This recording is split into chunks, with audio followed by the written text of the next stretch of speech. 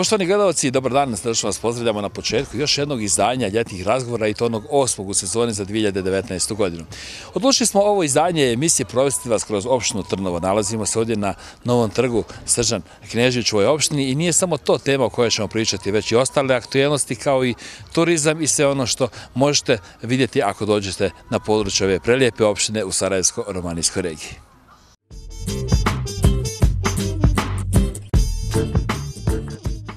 E, poštovani gledalci ljetih razgovora, evo jednu svoju vrstu različnicu iz opšte Trnovo. Počet ćemo razgovorom sa prvim čovekom e, opšte Trnovo, načelnikom gospodinom Dragmirom Gagovićem. E, gospodin Gagoviću, dobar dan i dobrodošli u ljetne razgovore. Dobar dan i dobrodošli. Hvala na posjeti. Evo, zadovoljstvo je što smo u prilici razgovarati ovdje na jednom novom rekonstruisanom trgu Srđana Knježevića u Trnovu. Za razliku od prošle godine ovdje zaista jedna velika promjena, tu je pješačka zona, jedna sasvim modern trg, tu je fontana, mjesto za odmor. Je li e, bilo teško sve ovo realizovati u takvom kratkom vremenskom periodu od one prošlogodišnje najave? Pa vjerujte, najveći problem je naći izvođače, jer bilo šta kad radite morate ući u procesnu, proces ovaj, javnih nabavki, malo je problem kod radne snage, ovo se malo i oteglo jer ovo je trebalo da bude završeno prošle godine jer nije bilo firmi, ali eto imali smo sreću da je GP put ipak to priveo u kraju i ovaj kompleks će biti tek gotov, znači sa postavljanjem ovaj biste Srđanu Kneževiću tu pored nas i ova zgrada Oštnije preko puta nas devetog, to jest u petak, se otvara tender za rekonstrukciju krova i fasade.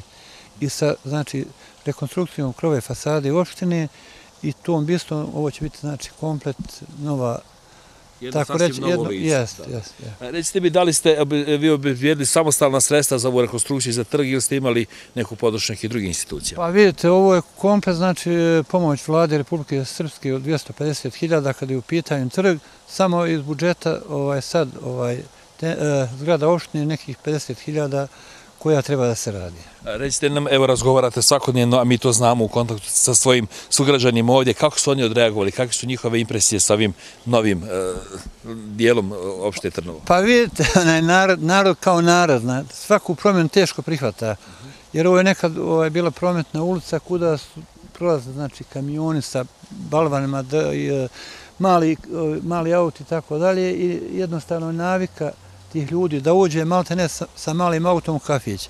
A to je svugdje, nije to samo u Trnovu. Pa to dobro, je u svim sredinama. Jeste, ali evo, naj, bilo je nekih problema, evo tu i kod prilikom oštećenja fontane, bilo i toga, međutim, evo, doskočili smo sa kamerama i tako dalje, znači za sve one koji se ne budu ponašali u skladu sa propisima, naće se adekvatna mjera. Rekli bismo ništa novo, sve se to dešava i mnogo većim sredinama. Jeste, ali vjeru, pretpostavljam, mislim ja to, ja imam svoje mišljenje i ljudi s kojima se ja onaj e, srećem.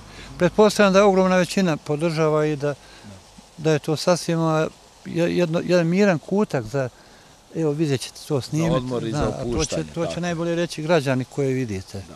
E, ono što je još interesantno jeste da ovo nije jedini projekat koji je aktualan u opštini Trnovo, tu je zaista još nekih novosti, neki novi privrednici su došli, neki novi projekti su u toku. Evo možda prilike da ne naj, najinteresantnije detalje podijelite sa nama. Šta je to novo još u opštini Trnovo? Pa vidite, ovaj, moram opet pomenuti znači, donaciju vlade Republike Srbije od 250.000 eura koja je pređena za rekonstrukciju zgrade osnovne škole preko puta nas i za završetak fiskulturne ove sale. E,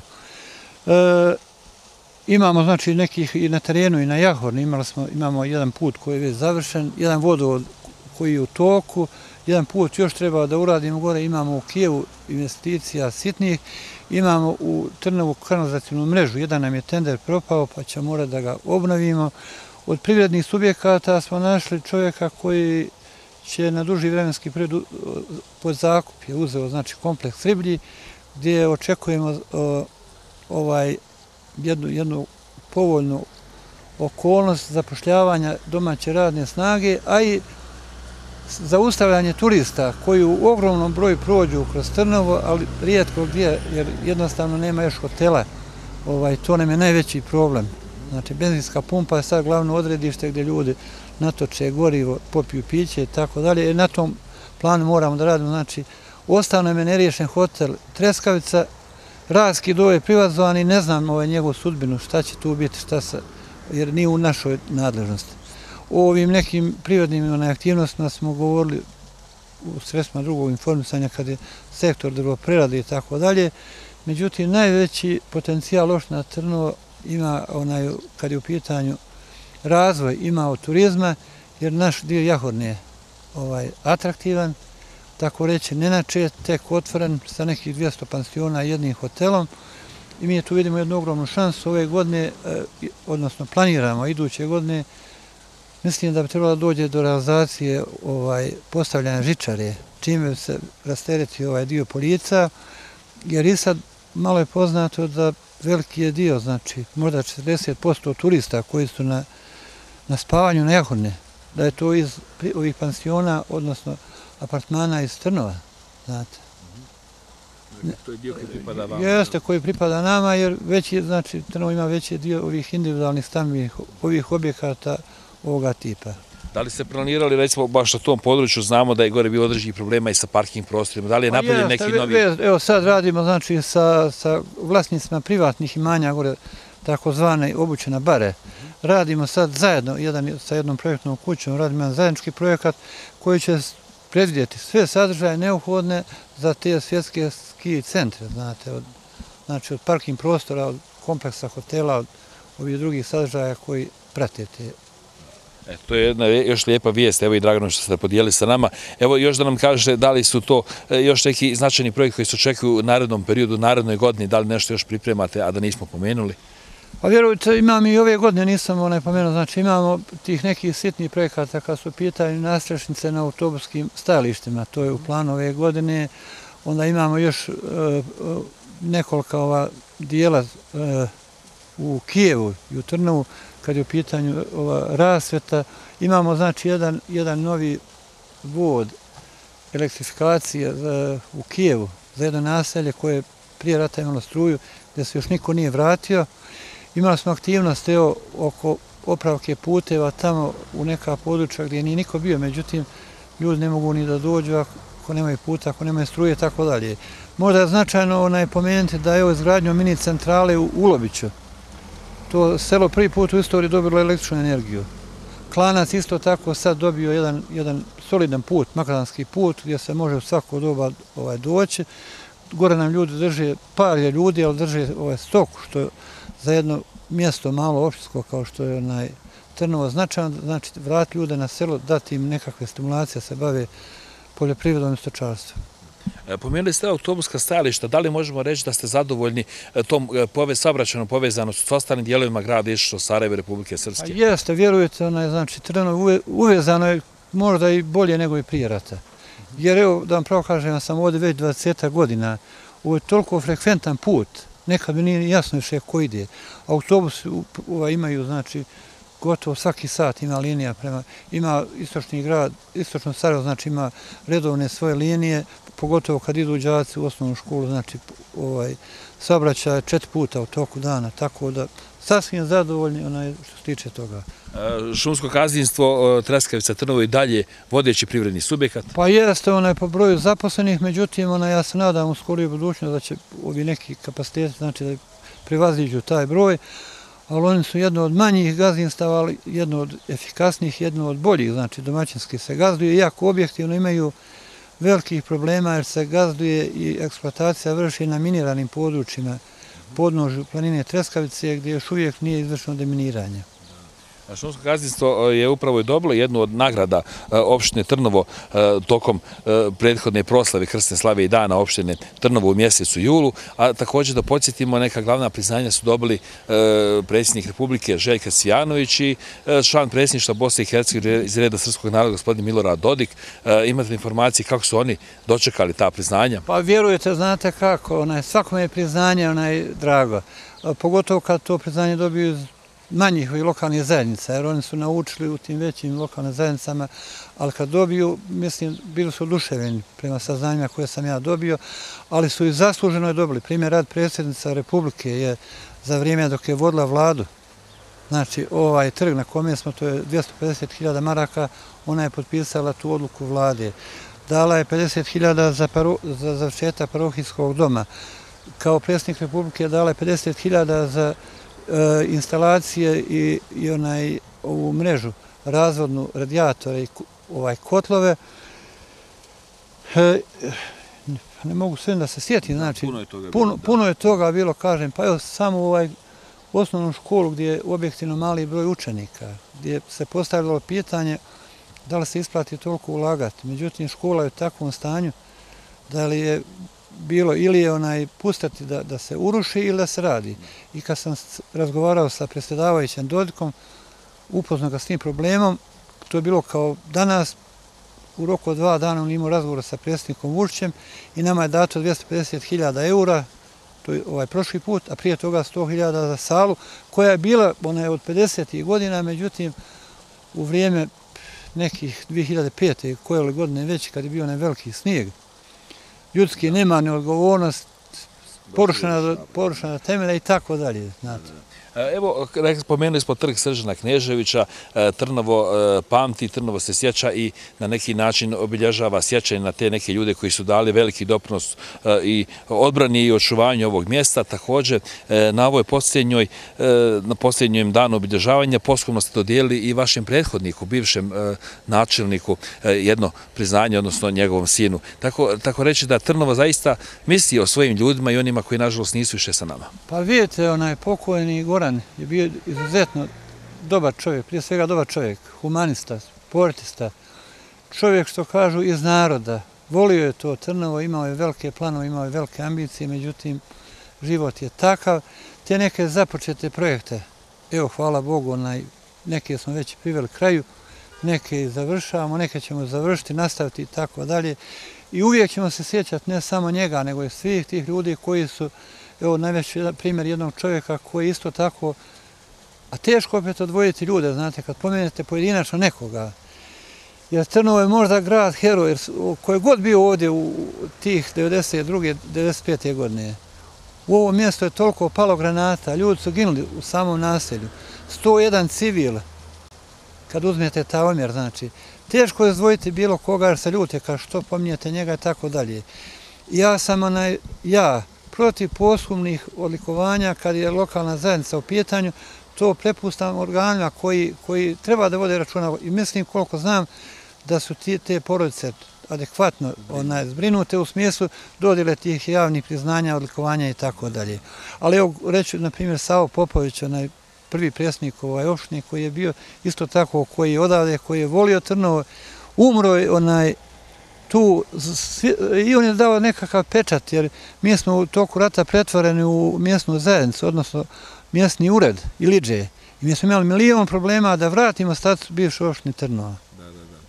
Evo još samo za kraj, ono što možda bitno naglasiti jeste da e, Trnovo sasvim sigurno ide e, dobrim koracima naprijed i bez obzira što ste možda opšta koja je najviše pretrpila ratnih razaranja i svega, vi se trudite da međuljudske odnose ovdje zaista e, i multi, međunacionalne odnose držite zaista jednom redu, da imate jedan dobar komšijski onako odnos. Pa vidite, to je malo ovako i možda malo i čudno. Jer s obzirom na, na stradanje jednog drugog naroda, to je preko 10%. Znamo koji je to procenat. I jednih i vjerovatno i drugih. Ja nemam taj podatak, ali u razgovorima barataju s tim podacima. Ali posle rata nijedan eksces ovdje nije bio, znači. Kafića nema u federalnoj općini, doskora nije bilo. Sva ta omladna se sastaje ovdje u našim kafićima i nikad nijedan, znači. mi imamo problem u Trnovu kao i u većini drugih lokalnih zajednica kad je u pitanju onaj odnos partijski. Međutim, u velikoj mjeri, evo, mislim da i to u zadnje vrijeme te tenzije su splasnule, jer znate kako je ona narodna, ali nije svak isti. Kaže, zavadi pa vlada. Mislim da je to pogrešno, da treba narod izmiriti, onaj, pokazati na dijelu da, da ne odvajate bilo koga, da svak ima pravo na svoje mišljenje, da ništa nije vrednije onaj ako je član neke druge partije, manji vredan, tako dalje. U svem tome je najbitnije biti korektan. A toga, nažalost, u proteklom periodu nije bilo proteklih godina, znači, jedno 7-8 godina u Trnovu je najviše bilo svađe.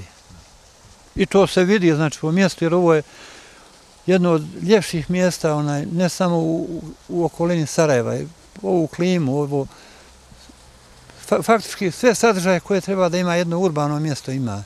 Znači ima zdravu vodu, čist vazduh, onaj, e, struju, telefone, Blizu glavnog grada. blizu glavnog grada, internet, sve moguće, znači za 20 minuta ste u glavnom gradu, imate osnovnu školu, imate, aerodroma, od jes, svega, imate da. osnovnu školu, imate dom zdravlja. Evo, ovih dana pravimo napore da neke ljude iz Srbije vratimo, jer ovaj, osnovno pitanje, znači ostanka ovog mjesta je e, ovaj, učenice, odnosno natalitet. E tu stimulišemo rađanje, znači djeteta sa 1000 maraka, upis u prvi raz osnovne škole i ovih dana jednu porodicu sa petro djece vraćamo u Srbiju. Ali da bi to sve uradili, znači moramo stvoriti nekakve nekakve i perspekt, ovaj, kako bi rekao, pogodnosti za te ljude, jer morate mu dati radno mjesto, morate, jer neće ljudi, kad ponudite nekom, ne ma znate kako, ali najgore je što ne mogu svi u državne institucije. A kad je u pitanju privatni sektor, onaj, rijetko ko se odlučuje, iako su, na primjer, neke firme privatne stabilnije, evo, znamo u okruženju da su daleko jače privatne firme, evo u Beogradu, neke nego državne firme, ali, ali evo i, ta, i to će se promijeniti, jer treba da prođe period možda od dvije, tri godine da neki privatnik pokaže, znači, da te ljude koje je primio, prijavio u radni odnos, da, da onaj, ti ljudi mogu da, da onaj, funkcionišu, da mogu da ulaze u nekakve rešavanje životnih problema, kad su stamena pitanja i tako dalje, a objektivno sve je to teško ako ne možete dići kredit, ako nemate garanta i tako dalje. Tako. Gospodine Gagoviću, hvala vam na odvojenom vremenu za ljetne razgovore. Evo, lijepe poruke smo poslali iz Trnova, a bit će prilike da sa vašim saradnicima u narednim minutama otkrijemo nešto više drugih detalja vezanih za Trnova. Hvala i vama i dobrodošli, svaki put ste dragi gost.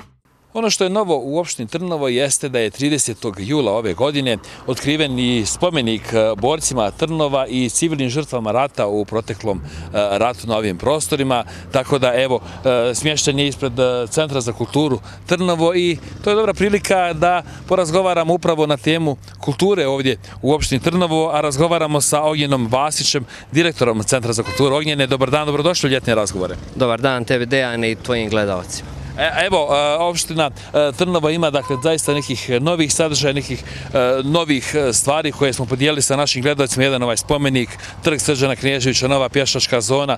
A šta je to novo u Centru za kulturu Trnovo? Vidjeli smo ove godine, imali ste i vi zapaženih nekih kulturnih manifestacija i događaja. Pa pored ovaj standardnih manifestacija, šta je bitno za Centar za kulturu ove godine, završen je projekat mapiranja i zašta kulturno i istorijskog prirodnog nasljeđa Trnovske regije, u okviru kojeg je izdata jedna zbirka u kojoj je opisano i stavljeno u knjigu prije ratna opština Trnovo i s čime to opština Trnovo raspolaže prirodnim i kulturnim naseljem, rijekama, planinama, i sve sve po- pobrojano to što ima Trnovo da pokaže. Da, Ono što trebamo znati. jest, jest, tako. To je prezentovano tokom ove godine. E, Kako su građani Trnova reagovali na tu knjigu? Je li mi se svidjelo? Ima, jeste imali nekih možda zamjerki na sadržaj? Pa nisu imali, ja moram napomenuti da je knjiga rađena u saradnji s općinom Trnovo, s, cent, e, s opštinom Trnovo i Centrom za kulturu Trnovo i naišla je na veliko oduševljenje kako samih trnovljaka, tako i ne, ljudi koji su prije živjeli ovdje i koji su poručili knjigu da imaju onaj u svojim kolekcijama. E, da, evo, može, dok mi to pričamo, gledalci su mogli da vide i izgled te sve svoje vrste enciklopedije vezane za Trnovo. E, ono što je bitno naglasiti, možda jesu i mladi ljudi. E, mladi ljudi učestvuju u nekim kulturnim manifestacijama. Primjer za to je bila i Krsta Slava i Dan opštine Trnovo. Neki mladi ljudi su svojim recitacijama ili, ili kao muzički sastavi nastupali. Koliko su mladi zainteresovani da se bave kulturom u Trnovu? Pa nisu nešto pretjerano, ali ja moram napomenuti da je naša ovaj etno grupa Crven cvijet iz Trnovana održanom u Aranđelovcu takmičenju osvojila prvo mjesto u izboru mladih onaj tih folkloraša. Djevojka iz Trnova je ovaj, bila prva pratilja na tom izboru folklora u Aranđelovcu. Eto, to je jedna lijepa informacija, da. E, Šta planirate do kraja godine, još koje vas manifestacije očekuju ovdje u Trnovu? E, Pa iza nas je, e, kako si ti rekao, Svečana akademija povodom dana Krsne slave i opštine Trnovo. U narednom periodu nas očekuje 13. sabor izvornog srpskog stvaralaštva, gdje je uvodna večer ovdje kod nas u Trnovu, to je 38. u 18 časova, posto toga planirana isto naša tradicionalna manifestacija Dane Radoslava Samadžije, govorimo srpski 2019. E, Ovdje ono što možda e, još e, možemo pomenuti jeste da je bilo i nekih izložbi i iz Republike Srbije, ovdje je bilo i nekih isjećanja na drugi svjetski rat. Pa i- bila izložba ovaj belezi ovaj veliki zločina u saradnji sa muzejom žrtava rata i Beogradom e, iz Beograda i kulturnim centrom Istočno Novo Sarajevo. Također moram napomenuti da je ove godine postignuta saradnja sa kulturnim centrom Istočno Novo Sarajevo i direktorom Mladenom Jankovićem gdje je zajednička manifestacija Tragom Svetosavlja imala dobar odziv i nadamo se da ćemo nastaviti tu saradnju. Odlično, Ognjene, hvala na izvenim informacijama i puno sreće u budućem radu. Hvala vam.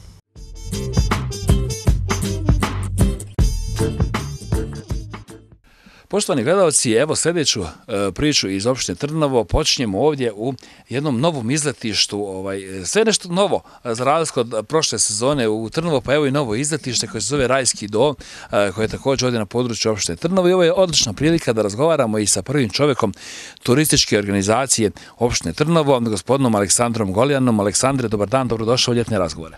Dobar dan, dobrodošli vi kod nas u izletište. Evo, tu smo na ovom izletištu koje je onako vrlo interesantno, jedna nova priča e, kao jedno novo turističko mjesto gdje se može posjetiti u opštini Trnovo i gdje je organizovana jedna prva kotličijada. Evo možda prilike da prvo kažemo nešto o toj kotličijadi, odakle ta ideja, koje ekipe se, odakle su učestvovale ekipe i jeste li zadovoljni odzivom e, na toj prvoj kotličijadi? Prva Trnovska kotlićada održana je prije nekih 20 dana. To je uz inicijativu turističke organizacije i vlasnika ovog lijepog izletišta Rajski do. E, imali smo 21 ekipu sa preko 300 takmičara.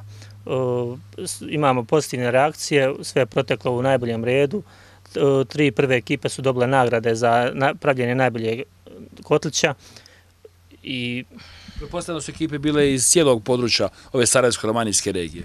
Da, ekipe su bile sa cijelog područja, ra- uradili smo reklame u, okolnim opštinama i prijavilo se veliki broj ekipa. Malo nas je vrijeme, e, da kažem, zeznulo, e, bilo je malo kišovito, ali opet dobar je odziv bio. Nije falo dobrog raspoloženja. Nije falo, naravno. Naravno nije falo ni dobre hrane, a da u Trnovi ima dobre hrane, pored Kotlačijade, sjedoči i najavljena sačijada u organizaciji Plenarskog društva Runolis 05, ona je najavljena za 24. avgust, ali više informacija i prijave za tu sačijadu načete na, na kontakt stranicama i Facebook stranicama ovog Plenarskog društva.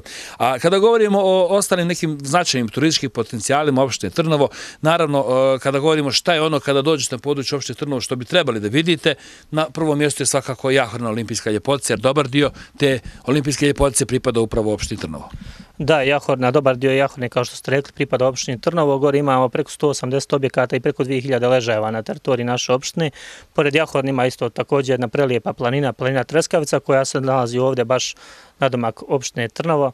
Jezar, e, Treskavica je poznata po svojih desetak jezera kojih ima i, i prelijepim pašnjacima, prelijepim vrhovima, 365 izvora.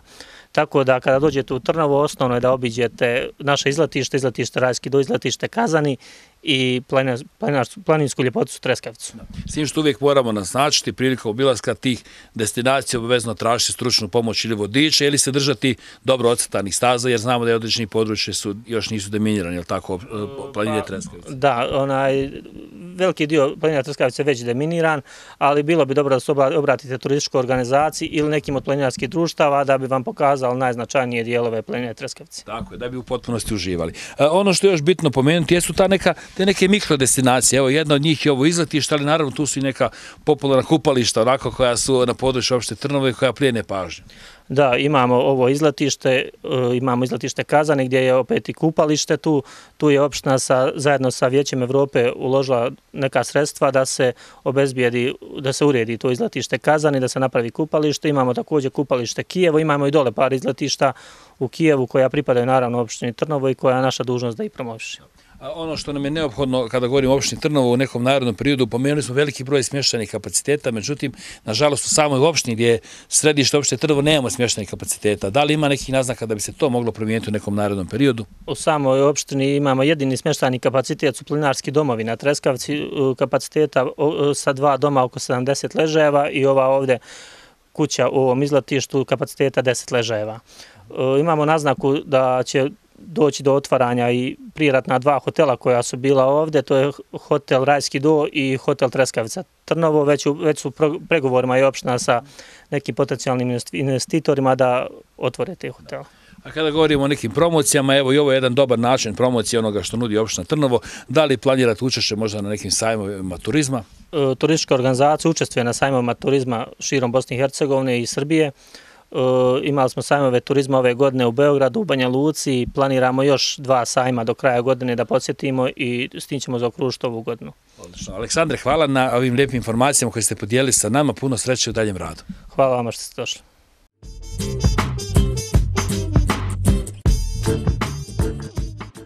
Govorili smo o turizmu i turističkoj ponudi opštine Trnovo u prethodnim minutama, ali evo još jednog vida turizma koji također dosta onako uspješan na području ove opštine, a riječ je o lovnom turizmu. Tim povodom naš sagovornik je iz Lovačkog društva Trnovo, njegovo ime je Siniša Goljan. Siniša, dobar dan, dobrodošli u ljetne razgovore. Dobar dan, hvala što ste nas posjetili. E, Evo mi se nalazimo na jednom vrlo jednom lijepom ambijentu, to je lovačka jedna kuća ovdje u Rajskom dolu. I Ovo je zvanično tako reći sjedište vašeg društva, je li tako gdje se okupljate? Sjedište našeg društva i objekat koji koristimo za naše potrebe i za prijem i doček naših gosti. Evo kad kažemo gosti, odakle su ti gosti? Da li imate nešto što onako tradicionalno održavate svake godine, odakle vam dolaze gosti i šta je ono što u tom nekom sektoru lovnog turizma Trnovo može ponuditi? Što se tiče gosti, sami gosti su e, u komercijalnom lovu obično ljudi koji dolaze iz, iz inostranstva, znači lovci veće imućne, imućnih mogućnosti, kojima nudimo komercijalni lov u vidu odstrela medvjeda i vuka. Također nudimo uh, odstrel tetreba kao jedne od izrazito atraktivnih divljači koja naseljava naše lovište. A, Ima dovoljno, ovaj, tako reći, medvjeda i vukova na području opštine Trnovo.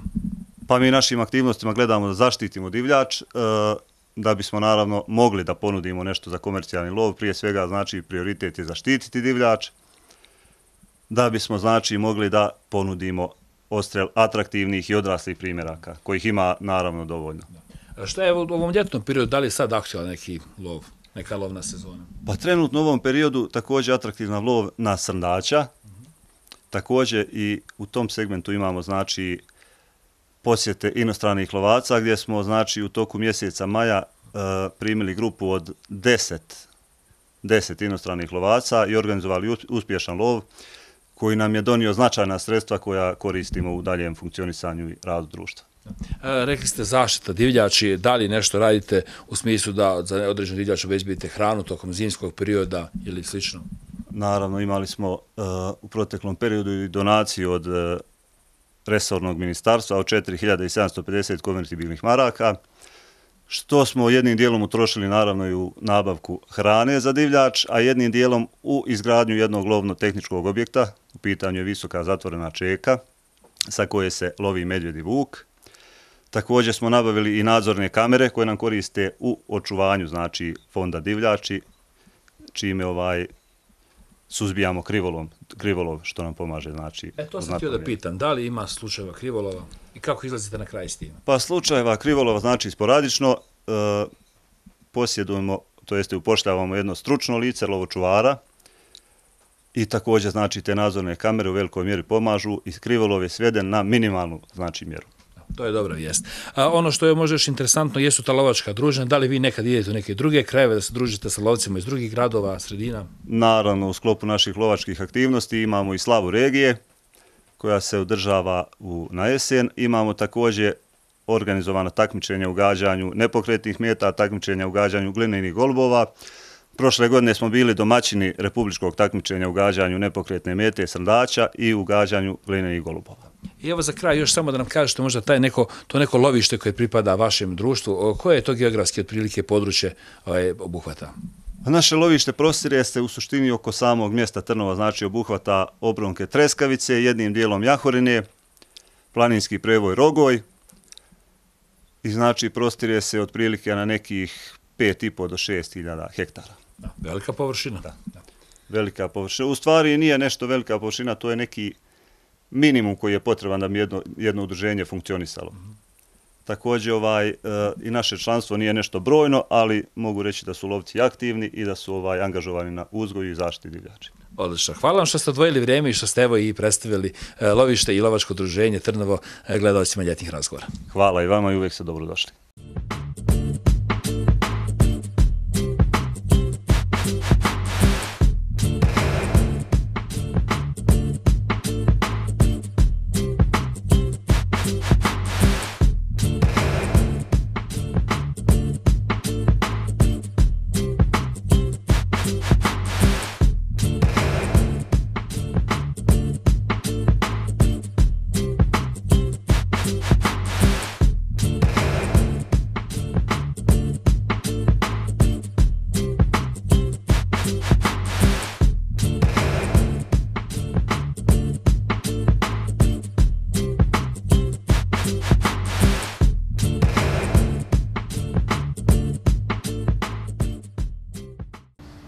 Evo, poštovani gledalci ljetnih razgovora, e, ono što smo još odlučili podijeliti sa vama jeste i razgovor sa autorom e, jednog vrlo zanimljivog vodiča i dnevnika koji nosi naziv Planinarski put, doktor Jovo Elčić. Sa nama društvo, autor Braco Babić. Braco, dobar dan, dobrodošao u ljetne razgovore. Dobar dan i hvala vam što ste me pozvali. Upravo sad organizujemo sedmi po redu e, Planinarski put, doktor Jovo Elčić. I to će biti prilika da se družimo na tom e, druženju koje će trajati tri dana dolaze planari iz cijele regije, od Slovenije do Makedonije, Srbije, Crne Gore, Bosne i Hercegovine, Hrvatske i ovaj pohod traje tri dana. Ove godine smo odredili da to bude 30. avgust, znači to je petak. Taj dan se okupljamo u podnožju planine Zelengore, ispred planarskog doma Dobra voda. Tu će biti napravljen ovaj, jedan mali logor, kamp, koji, gdje može onaj oni planari koji ne žele u domu da spavaju mogu u šatoru. E, narednog dana imamo ovaj obilazak Zelengore i Lelije i, ta, i taj prvi dan će biti u stvari najteži jer treba u tom uh, pohodu uh, popeti dva najviša vrha.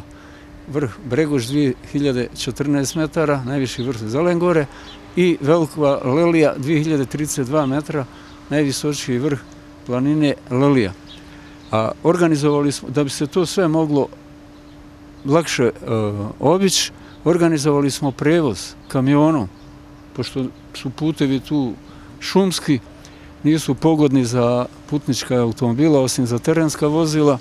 Oni će nas prebaciti od ovog planarskog doma rano ujutru, negdje oko četiri ćemo ustati, da bi u pet krenuli i dolazimo na područje Borovog brda, sa kojeg ćemo vršiti uspon na najviši vrh Zelengore Bregoć. Nakon toga nastavljamo preko Kotlaničkog jezera, Štirinskog jezera na najviši vrh Lilije. Spuštamo se, kamion dolaze okolo, pokupi nas tu, idemo u dom i da to proslavimo. Da. Naredni dan je isto atraktivan, možda čak i najatraktivniji, e, to je uspon na jedan od najljepših vrhova, najmarkantnijih vrhova Treskavice, Veliki Treskač on je visok 1969 metara i treba prilično ovako malo zapet. Međutim, to je ovaj izazov. Penjemo ga sa gvoznog polja. Iznad e, Simovića bare jezera počinje staza markirana i na tom jednom dijelu markirane staze postavili smo sajlu kao dodatno osiguranje u slučaju pokliznuća. E, po izlasku na najviši vrh veliki treskaš, pruža se fantastičan pogled, svi vrhovi, pošto se treskavica nalazi u centralnom dijelu Bosne i Hercegovine, pruža se fantastičan pogled na vrhove čak i u Crnoj Gori, do, dobar dio vrhova u Bosni i dobar dio u Hercegovini. Dosadašnje iskustvo nam je pokazalo da je ova, puno ljudi zainteresovano, naime u ovim bivšim republikama, odnosno današnjim novo nastalim državama, je veoma popularno obilaziti planarske transverzale. Zato smo mi ovaj vodič i podijelili u dva dijela. Znači prvi dio je opis sa fotografijama i e, gdje su date kontrolne tačke. Na, s, imamo tri planine, na svaku od, tre, od ti tri planine imamo po pet kontrolnih tačaka. Znači onaj koji obilazi treba tu da se fotografiše na određeno mjesto, označili smo te kontrolne tačke od 1 do 15, a na određenim tačkama smo postavili metalne žigove u kojem treba da otisnu žig u ovome vodiču. Kad Na zato predviđeno Maja. mjesto, tako da. taj zadnji dan, znači u nedelju kad završimo, zahvaljujući tom prevozu, inače bi trebalo više dana za obilazak ove, ovog planarskog puta, jer prevoz je ovaj, omogućio da to obavimo sve u dva dana. Jest da je malo naporno, ali mnogi zadovoljno će se vratiti kući i na kraju svi dobiju za uspomenu ovaj vodič i Sa pečatima, Sa pečatima dokazima i- da, je, da se popeo. Yes, i dobija, osim vodiča, dobija i počasnu značku koja je velika, emajlirana je i numerisana. I onda to mi taj broj, ime, prijezime i njegovu broj značka uvedemo u evidenciju i to je jedno priznanje počasno koje je vrijedi, koje je vrijedno. Braco, e, iako je ovaj vodič je dostupan i u knjižarama Zavoda za udžbenike i nastavna sredstva Republike Srpske se može pronaći, da li preporučiti početnicima da se usude sami na, na ovaj put ili je potrebno imati vodiča? Vidite, mi, e, vidite, u vodiču smo dali napomenu da je najbolje koristiti kada je grupni ovaj obilazak. To je ovo uvijek kraj avgusta, početak septembra, međutim, može se i samostalno, individualno, jel? Ali pa Krenut treba imati neke osnove. Uz vodič, jes, u vodiču su date baš detaljno upute kako se ponašati na tom terenu. Inače, na tom terenu, a, koji je dužine negde oko 60 km, nema ni jedne, ova, ni jednog objekta. Mislim, u smislu naselja i tako dalje. Ima jedna lovačka koliba na, ovome, na Zelengori u podnožju vrha Stog, ali to nije baš na tom putu. Tako da se moraju pridržavati tih e, propisa i pravila. Dali smo mjesta gdje, gdje, se, gdje su izvori. Pogotovo smo napomenuli način kampiranja u toj divljini. Znači, pošto je to kreću se tu divlje životinje, I opasne znači, i opasno, da. znači dali smo napomene da se ne kampuje pored vode i pored jezera, jer u toku noći dolaze životinje, jel? I ovaj, tako se smanjuje opasnost. Dalje, ovaj, oni koji sami idu, jel, moraju ponijeti sve sa sobom. I da po meni treba da izaberu kada je stabilno vrijeme, lijepo vrijeme, znači bez nekih grmljavinskih dana, a posebno skrećemo pažnju da se u zimskom periodu ne ide tom. Znači, poš, poš, jedino ako je neki... Zbog ekstremnih uslova. Naravno. ekstremni su uslovi, jedino ako su neki dobro, dobro opremljeni, pa sa skijama da idu i krpljama, i to je izazov. Ali, Idu ima, ljudi. ali tim onda već ne Da, treba vodič, oni već znaju. Da, ljudi idu na vrh svijeta, ljudi idu na vrh svijeta, Da, jel? da, tako. Everest, pa ima i koji su sposobni da to i prežu skijama, jel? Tako je, tako je. Braco, Ovaj. još za sami kraj evo našeg razgovora, dakle pomenuli smo 30. avgust planina- planinarski pohod, pohod, odnosno put dr. Jovo Elčić, sedmi put. Ako smo nekoga zainteresovati planinara i nekako bi se htio okšati, gdje se mogu prijaviti i kako, na koji Mogu se način? prijaviti na adresu uh, Bobane Petrović, koja je u organizacionom odboru. To je inače supruga pokojnog uh, dr. Jove Elčića. I ovaj, mogu na moju mail adresu. U, u stvari, mi smo to već objavili na Facebooku. Da. Znači putem Facebooka će putem naći Facebooka potrebne informacije. ukuca i Braco Babić ili Bobana Petrović, a mogu i Branislav Popović. I tu su onaj, e, dali smo brojeve telefona, mail, adrese i pozivam sve ljubitelje prirode da nam se pridruže. Dođite i uživajte zajedno s nama i družimo se u lijepoj prirodi. Hvala lijepo.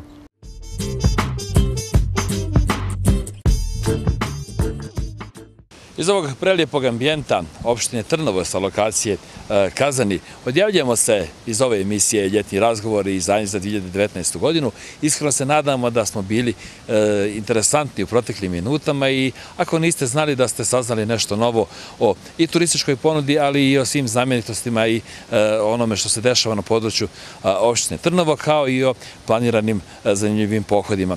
Ostavite ponovo sa nama, za sedam dana smo na istom ovom kanalu i sa nekom e, novom pričom. Do gledanja.